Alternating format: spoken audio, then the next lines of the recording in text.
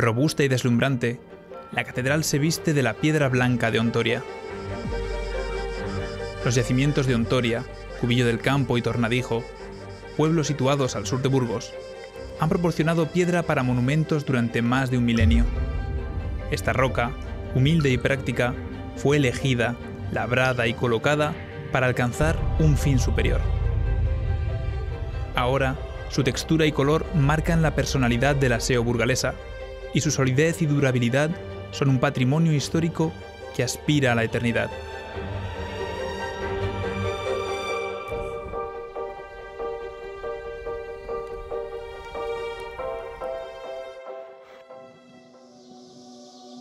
La piedra de Ontoria es una señal de identidad, es una piedra caliza de, de, una cantera situada en las proximidades de Burgos que le ha dado primeramente un color, un tono, ese color claro, pero también le ha dado esa resistencia al paso del tiempo. La elección de la piedra de Ontoria fue idónea. El gótico empezaba a emerger en otros países, y al revés que en su predecesor, el románico, en este nuevo estilo, la luminosidad cobra un papel fundamental. Gabriel García Agudo es experto en turismo y socio de la empresa que gestiona las canteras de las que se extrajo esta piedra. Tenemos un obispo, don Mauricio, que es un obispo viajero. Y que le encanta ese mundo nuevo de llegar a Dios a través de la luz, ¿no? de acercarse a Dios, de crear, eh, de, salirse del interior, de, de salir fuera y buscar espacios con paredes más finas, más suaves, más de piel, pero que haya lucernarios, ¿no? esos vanos por donde emana la luz. Luz y piedra blanca, al final va a ser una combinación preciosa para, para los interiores de las catedrales. El color, la composición y la durabilidad de esta piedra la convirtieron en la principal materia prima y distintivo del aseo.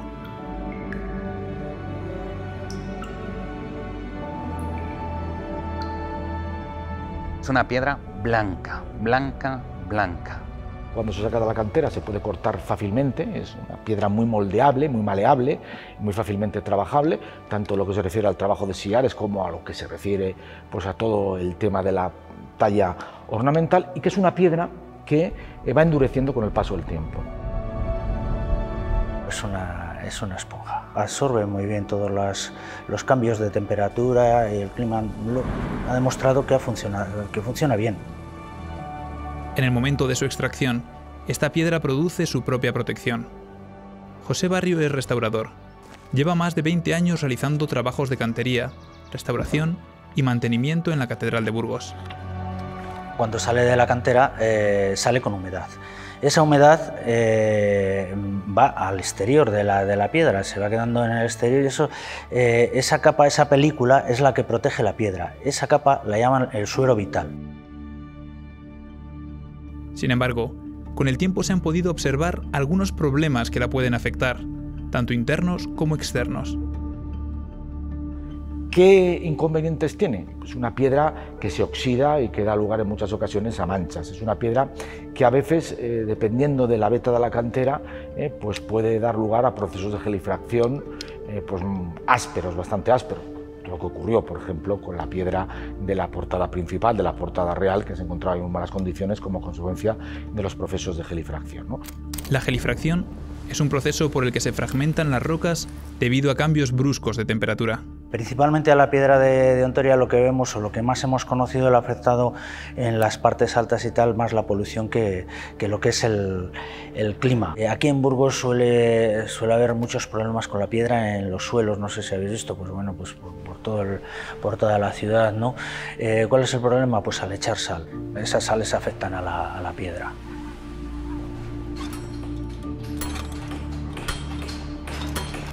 A la hora de trabajar en la cantera, el método utilizado era completamente tradicional. Se empleaban todo tipo de herramientas manuales. Serruchos, picas, eh, palas, picos, carretillas, eh, todo lo que te imagines, pero manual.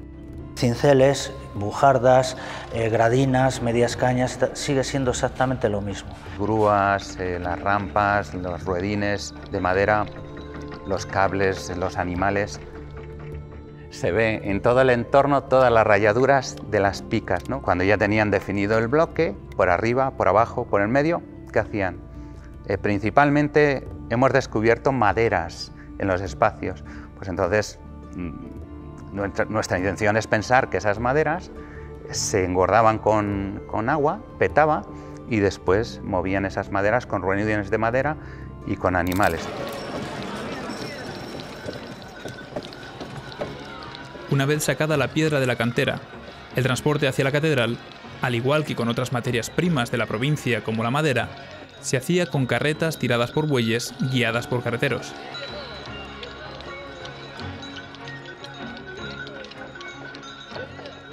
Hay que pensar que estamos en la sierra o en el entorno de la Sierra de la Demanda, eh, que ahí hay carreteros eh, por doquier, la extracción debería de ser por animales. Sabemos además que las carretas eh, se movían con bueyes de 700, 700 y pico kilos, con dos bueyes, y luego en, el, en Serracín eh, había expertos que bajaban con parejas de bueyes y estos se acoplaban a las dos parejas para subir todo el alto de la barca.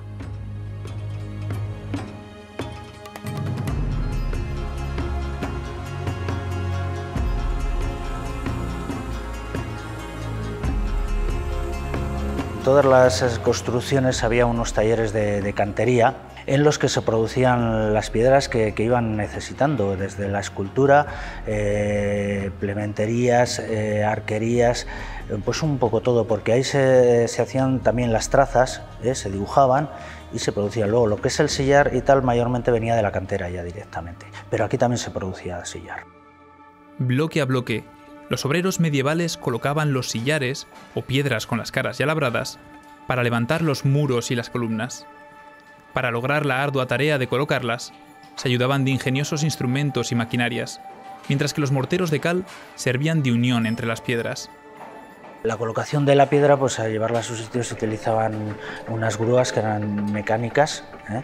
pues era un cilindro en el que había una serie de personas dando vueltas al cilindro, recogían la, cuerda y subían, y eso con un sistema de poleas, ¿eh? pues eh, es la manera que tenían de, llevar la, de, de llevar la piedra a determinadas alturas. Luego la colocación se ha hecho siempre con morteros de cal. Entonces no existía el cemento.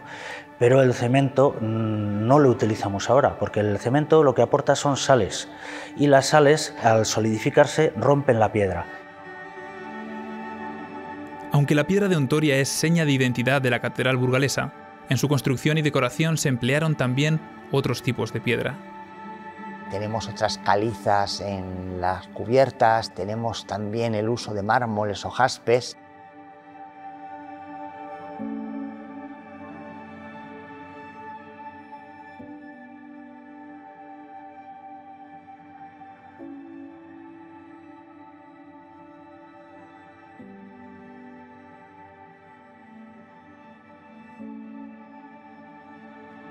Del páramo de, de de Pedernales, que se utilizan los cimientos, piedras más vastas, eh, que se utilizan en, lugares no tan visibles ni tan potentes desde el punto de vista visual. Tenemos de, la cantera de Briviesca, que ya no existe, que por ejemplo se utilizó para los tres paneles de, de Vigarni, del trasaltar, o para el arcosolio de Fuente Pelayo, que está en Santa Ana, mármol de Carrara, que es el mármol que se utilizó para tallar a los condestables,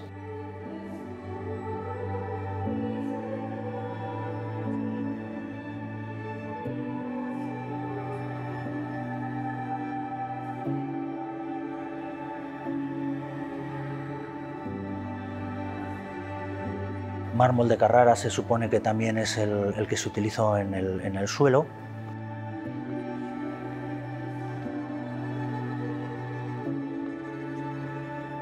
En la actualidad, muchos de los trabajos de restauración utilizan los mismos métodos que antes. Es el caso de la cantería, la labor que consiste en labrar las piedras para su colocación en la obra.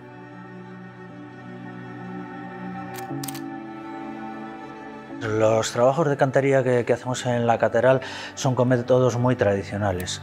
Lo que hacemos es, bueno, vas al sitio en el que tienes que sustituir un sillar, una piedra, lo, que sea, haces las mediciones, haces los dibujos o cuando tienes problemas con un arco, pues lo proyectas en el suelo, lo abates y de ahí haces todos los despieces. Y a partir de ahí, en el taller empiezas a producir las piedras.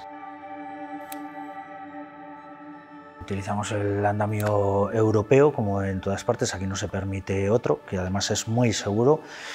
Y luego para la colocación, pues por ejemplo, a la hora de hacer arcos o, otro tipo de, eh, cosas, pues utilizamos las cimbras, que es un método mm, pues tradicional que se utilizaba ya en aquella época. Pues si tenéis en mente, por ejemplo, los arbotantes de la, de la Catedral de Burgos, eh, veis que son una especie de arcos que, sujetan. Bueno, pues esos arcos, a la hora de, construirles, una vez que tienes la, piedra hecha, eh, simplemente es su sujeción hasta que está completado el arco, para que no caiga. Pero para la construcción necesitas esa cimbra para apoyar la piedra. A finales del siglo XX, la Catedral de Burgos presentaba un aspecto oscuro, lleno de manchas del tiempo y polución. En 1997 comienza una limpieza exterior que durará 15 años hasta finalizar por completo. Esta limpieza desveló el auténtico color de la piedra, un cambio que no dejó indiferente a la ciudadanía, pero que ha permitido redescubrir la impresión original del edificio. Fue un impacto en Burgos cuando se limpiaron las fachadas porque no estábamos acostumbrados a ver la piedra tan blanca de, de Ontoria y a mucha gente, bueno, nos impactó a todos, pero hubo gente pues que puso también el grito un poco en el cielo. Ahora yo creo que, estamos todos de acuerdo, que, que se ve todo.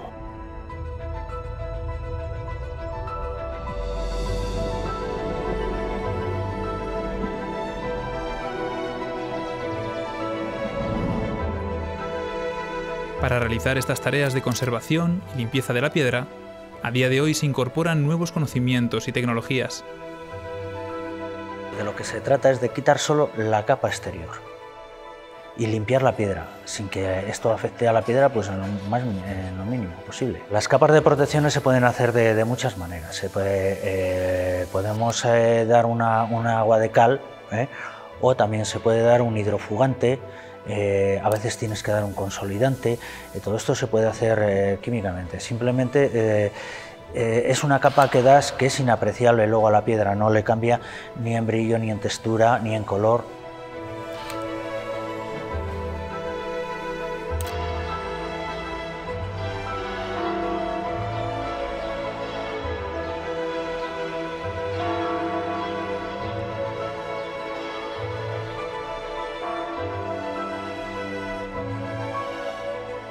Es que se ha hecho todo. es que se ha restaurado todo, porque la catedral en su momento, bueno, es que necesitaba cuidados ya. En estos últimos 25 o 30 años la catedral pues, ha estado permanentemente cuidada.